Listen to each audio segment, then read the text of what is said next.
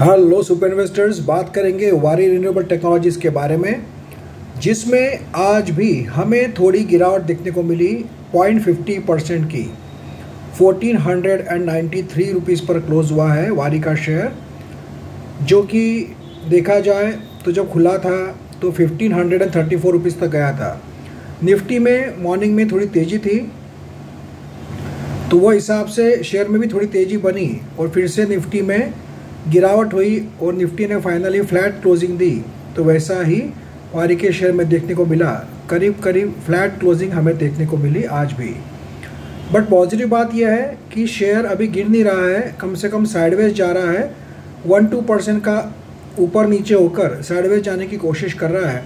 मतलब ये रेट के आसपास जो है फिफ्टीन हंड्रेड रुपीज़ के आसपास शेयर अपना पोजीशन होल्ड करने की कोशिश कर रहा है।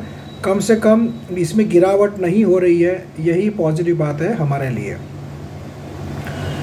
एक्चुअली देखा जाए तो अभी एस एम स्टेज थ्री में है तो देखा जाए तो तेज़ी बन सकती थी बट अभी भी मार्केट को वैल्यूएशन ज़्यादा लग रहे हैं वारी के, जिसके कारण कुछ तेज़ी नहीं आ रही है और ना ही कोई बड़ी अपडेट है, ना ही कोई स्प्लिट है, ना ही कोई बोनस है, ना ही कोई ऑर्डर की न्यूज़ है।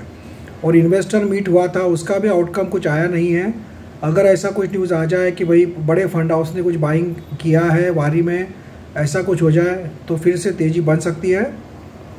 नहीं तो फ़िलहाल, जैसा कि मैंने आपको बताया मार्केट ऊपर जाएगा तो थोड़ा बहुत ऊपर जाएगा मार्केट नीचे आया है तो थोड़ा बहुत नीचे आएगा, ऐसे ही चलते रहेगा। और मार्केट में अगर भयंकर गिरावट हुई तो लोअर सर्किट भी लग सकता है, और मार्केट में भयंकर तेज़ी रही तो हमें अपर सर्किट भी देखने को मिल सकता है वारी में। बट शॉर्ट टर्म के लिए अभी वारी को अवॉइड करना चाहिए बट लॉन्ग टर्म वाले इसको होल्ड कर सकते हैं। लॉन्ग टर्म के टारगेट्स क्या रहेंगे, ये मैं बता सकता हूँ।